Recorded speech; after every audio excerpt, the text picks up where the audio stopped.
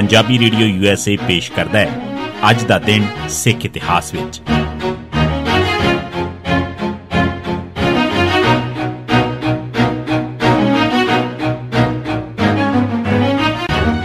ਸਿੱਖ ਇਤਿਹਾਸ ਦੀਆਂ ਘਟਨਾਵਾਂ 'ਚ 13 ਜੁਲਾਈ ਦਾ ਦਿਨ। 1631 ਮਾਤਾ ਦਮੋਦਰੀ ਦੀ ਮੌਤ। 18 ਮਾਰਚ 1631 ਦੇ ਦਿਨ ਗੁਰੂ ਹਰਗੋਬਿੰਦ ਸਾਹਿਬ ਮਾਲਵੇ ਦੇ ਦੌਰੇ ਤੇ ਗਏ। ਸਭ ਤੋਂ ਪਹਿਲਾਂ ਆਪ ਡਰੋਲੀ ਪਾਈ ਨੇੜੇ ਮੋਗਾ ਗਏ ਤੇ ਪਰਿਵਾਰ ਨੂੰ ਆਪਣੇ ਸਾਂਢੂ ਭਾਈ ਸਾਈਂ ਦਾ ਸਕੂਲ ਛੱਡਿਆ। ਇੱਥੋਂ ਹੀ ਆਪ ਪ੍ਰਚਾਰ ਵਾਸਤੇ ਵੱਖ-ਵੱਖ ਪਿੰਡਾਂ 'ਚ ਜਾਂਦੇ ਰਹੇ। ਇੱਥੇ ਹੀ 13 ਜੁਲਾਈ 1631 ਦੇ ਦਿਨ ਆਪ ਦੀ ਪਹਿਲੀ ਪਤਨੀ ਮਾਤਾ ਦਮੋਦਰੀ ਦੀ ਮੌਤ ਹੋ ਗਈ। ਅਕਾਲ ਪੁਰਖ ਦਾ ਭਾਣਾ ਕਿ ਕੁਝ ਹੀ ਹਫ਼ਤਿਆਂ 'ਚ ਹੀ ਇਸੇ ਹੀ ਥਾਂ ਆਪ ਦੀ ਸੱਸ ਸਹੁਰਾ ਤੇ ਸਾਲੀ ਸਾਂਢੂ ਵੀ ਚੜਾਈ ਕਰ ਗਏ। ਕਿਸੇ ਇਲਾਜ ਬਿਮਾਰੀ ਨੇ ਉਹਨਾਂ ਦਿਨਾਂ 'ਚ ਇਸ ਇਲਾਕੇ ਦੇ ਸੈਂਕੜੇ ਲੋਕਾਂ ਦੀਆਂ ਜਾਨਾਂ ਲਈਆਂ ਸਨ। ਇਹਨਾਂ ਸਾਰਿਆਂ ਦੇ ਸੰਸਕਾਰ ਮਗਰੋਂ ਆਪ ਕਰਤਾਰਪੁਰ ਚਲੇ ਗਏ ਤੇ ਗੁਰੂ ਗ੍ਰੰਥ ਸਾਹਿਬ ਦਾ ਸਰੂਪ ਵੀ ਉੱਥੇ ਪਹੁੰਚ ਗਿਆ। 1696 ਔਰੰਗਜ਼ੇਬ ਦਾ ਪੁੱਤਰ ਮੁਅੱਜ਼ਮ ਅਨੰਦਪੁਰ ਸਾਹਿਬ ਪੁੱਜਾ। ਅਗਸਤ 1695 ਚ ਲਾਹੌਰ ਦੇ ਡਿਪਟੀ ਗਵਰਨਰ ਦਿਲਾਵਰ ਖਾਨ ਨੇ ਪਹਾੜੀ ਰਾਜਿਆਂ ਨੂੰ ਸਬਕ ਸਿਖਾਉਣ ਵਾਸਤੇ, ਪਹਾੜਾਂ ਵੱਲ ਕੂਚ ਕਰਨ ਵਾਸਤੇ ਆਪਣੇ ਪੁੱਤਰ ਰੁਸਤਮ ਖਾਨ ਨੂੰ ਫੌਜ ਦੇ ਕੇ ਤੋਰਿਆ। ਦਿਲਾਵਰ ਖਾਨ ਨੂੰ ਪਤਾ ਸੀ ਕਿ ਪਹਾੜੀ ਰਾਜੇ ਗੁਰੂ ਗੋਬਿੰਦ ਸਿੰਘ ਸਾਹਿਬ ਦੀ ਮਦਦ ਨਾਲ ਹੀ ਜਿੱਤ ਸਕਦੇ ਨੇ। ਇਸ ਕਰਕੇ ਉਸਨੇ ਆਪਣੇ ਪੁੱਤਰ ਨੂੰ ਪਹਿਲਾਂ ਅਨੰਦਪੁਰ ਸਾਹਿਬ ਤੇ ਹਮਲਾ ਕਰਨ ਵਾਸਤੇ ਹਦਾਇਤ ਕੀਤੀ। 19 ਅਗਸਤ 1695 ਦੇ ਦਿਨ ਰੁਸਤਮ ਖਾਨ ਦੀ ਫੌਜ ਅਨੰਦਪੁਰ ਸਾਹਿਬ ਦੇ ਨਾਲੇ ਦੇ ਕੰਢੇ ਆ ਲੱਗੀ। ਬਰਸਾਤਾਂ ਕਰਕੇ ਉਨੀ ਦਿਨੀ ਇਸ ਵਿੱਚ ਹੜ ਆਇਆ ਹੋਇਆ ਸੀ। ਨਾਲੇ 'ਚ ਆਏ ਹੜ ਕਾਰਨ ਰੁਸਤਮ ਖਾਨ ਦੀ ਫੌਜ ਅੱਗੇ ਨਾ ਵਧ ਸਕੀ। ਦੂਜਾ ਕਿਲਾ ਆਨੰਦਗੜ੍ਹ 'ਚ ਨਗਾੜੇ ਦੀ ਤੌਂਸ ਤੇ ਜੈਕਾਰਿਆਂ ਦੀ ਗੂੰਜ ਨੂੰ ਸੁਣ ਕੇ ਵੀ ਮੁਗਲਾਂ 'ਚ ਡਰ ਤੇ ਦਹਿਸ਼ਤ ਫੈਲ ਗਈ ਤੇ ਰੁਸਤਮ ਖਾਨ ਦੀ ਫੌਜ ਹਮਲਾ ਕਰਨ ਤੋਂ ਬਿਨਾਂ ਹੀ ਵਾਪਸ ਮੁੜ ਗਈ।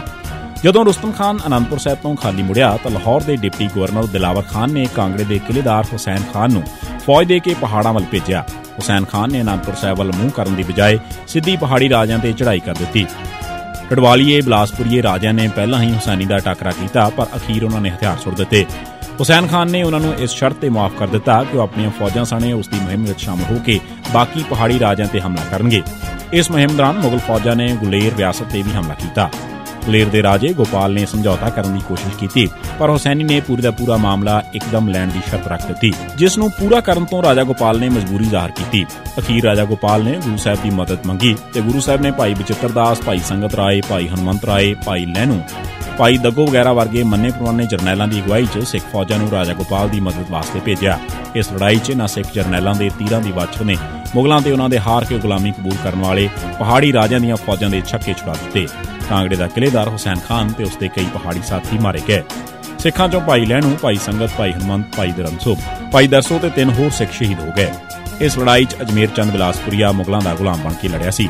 ਇਸ ਕਰਕੇ ਉਹ ਹੁਣ ਮੁਗਲਾਂ ਦਾ ਹੱਥ ਠੋਕਾ ਬਣ ਗਿਆ ਤੇ ਉਹਨਾਂ ਦੇ ਕੈਂਪ 'ਚ ਸ਼ਾਮਲ ਹੋ ਕੇ ਬਾਕੀ ਪਹਾੜੀ ਰਾਜਿਆਂ ਦੇ ਨਾਲ ਸਿੱਖਾਂ ਦਾ ਵੀ ਦੁਸ਼ਮਣ ਬਣ ਗਿਆ।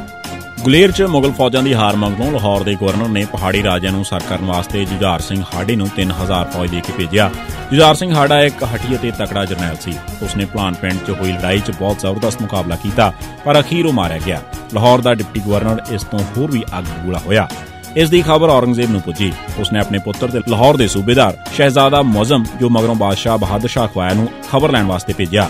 ਸ਼ਹਿਜ਼ਾਦਾ ਮੌਜ਼ਮ ਫੌਜ ਲੈ ਕੇ ਆਗਰੇ ਤੋਂ ਲਾਹੌਰ ਵੱਲ ਚੱਲ ਪਿਆ। ਇਧਰ ਸਿੱਖ ਸੂਈਆਂ ਨੇ ਗੁਰੂ ਸਾਹਿਬ ਨੂੰ ਸ਼ਾਹੀ ਫੌਜ ਦੇ ਆਉਣ ਦੀ ਖਬਰ ਵੀ ਦਿੱਤੀ। ਮੌਜ਼ਮ ਭਾਈ ਨੰਦ ਲਾਲ ਦਾ ਸ਼ਾਗਿਰਦ ਸੀ। ਉਹ 13 ਜੁਲਾਈ 1996 ਦੇ ਦਿਨ ਅਨੰਦਪੁਰ ਪੁੱਜਾ। ਭਾਈ ਨੰਦ ਲਾਲ ਉਸ ਨੂੰ ਮਿਲਿਆ ਤੇ ਉਸ ਦੀ ਮੁਲਾਕਾਤ ਗੁਰੂ ਸਾਹਿਬ ਨਾਲ ਕਰਵਾਈ। ਮੌਜ਼ਮ ਗੁਰੂ ਜੀ ਤੋਂ ਬੜਾ ਪ੍ਰਭਾਵਿਤ ਹੋਇਆ। ਉਸਨੇ ਵਾਪਸ ਜਾ ਕੇ ਔਰੰਗਜ਼ੇਬ ਨੂੰ ਖਬਰ ਦਿੱਤੀ ਕਿ ਪੰਜਾਬ ਦੇਸ਼ 'ਚ ਕੋਈ ਮਸਲਾ ਨਹੀਂ ਹੈ ਤੇ ਅਨੰਦਪੁਰ ਤੇ ਹਮਲਾ ਕਰਨਾ ਤੇ ਮੁਗਲ ਸਰਕਾਰ ਲਈ ਠੀਕ ਨਹੀਂ ਹੈ। 1813 ਰਣਜੀਤ ਸਿੰਘ ਨੇ ਅਟਕ ਦਾ ਕਿਲਾ ਫਤਿਹ ਕੀਤਾ। 13 ਜੁਲਾਈ 1813 ਦੇ ਦਿਨ ਅਟਕ ਤੋਂ 5 ਮੀਲ ਦੂਰ ਹੈਦਰੂ ਪਿੰਡ ਦੇ ਬਾਹਰ ਦਰਿਆ ਕੰਢੇ ਕਾਬਲ ਦੇ ਹਾਕਮ ਦੋਸਤ ਮੁਹੰਮਦ ਖਾਨ ਦੀ ਫੌਜ ਤੇ ਲਾਹੌਰ ਦਰਬਾਰ ਦੀ ਫੌਜ ਦੀ ਪਹਿਲਾਂ ਅਗਵਾਈ ਕੰਵਰ ਪਿਸ਼ੌਰਾ ਸਿੰਘ ਤੇ ਮੋਹਕਮ ਚੰਦ ਕਰ ਰਹੇ ਸਨ, ਵਿਚਕਾਰ ਜ਼ਬਰਦਸਤ ਲੜਾਈ ਹੋਈ। ਇਸ ਲੜਾਈ ਦੌਰਾਨ ਜੀਵੰਤ ਸਿੰਘ ਤੇ ਦੋਸਤ ਮੁਹੰਮਦ ਖਾਨ ਤੇ ਹਮਲਾ ਕੀਤਾ, ਜਿਸ ਨਾਲ ਉਹ ਘੋੜੇ ਤੋਂ ਡਿੱਗ ਪਿਆ। ਉਸ ਦੀ ਫੌਜ ਨੇ ਉਸ ਨੂੰ ਮਰਿਆ ਸਮਝ ਲਿਆ ਤੇ ਭੱਜ ਉੱਠੀ, ਪਰ ਉਹ ਮਰਿਆ ਨਹੀਂ ਸੀ ਤੇ ਸਿਰਫ ਜ਼ਖਮੀ ਸੀ। ਇਸ ਕਰਕੇ ਉਹ ਭਾਈ ਦੀ ਫੌਜ ਨਾਲ ਹੀ ਲੋਕੇ ਖਿਸ ਗਿਆ।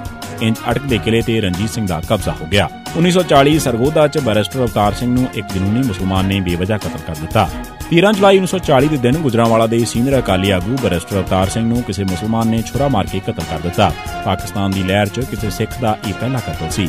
ਇਸ ਮਗਰੋਂ ਮੁਸਲਮਾਨਾਂ ਤੇ ਗੈਰ ਮੁਸਲਮਾਨਾਂ 'ਚ ਕਤਲੋਗਾਰਤ ਆਮ ਗੱਲ ਬਣ ਗਈ। ਇਹ ਸੀ ਸਿੱਖ ਇਤਿਹਾਸ ਦੀਆਂ ਘਟਨਾਵਾਂ 'ਚ 13 ਜੁਲਾਈ ਦਾ ਦਿਨ। ਸੁਣਦੇ ਰਹੋ ਪੰਜਾਬੀ ਰੇਡੀਓ ਯੂਐਸਏ ਸਿੱਖ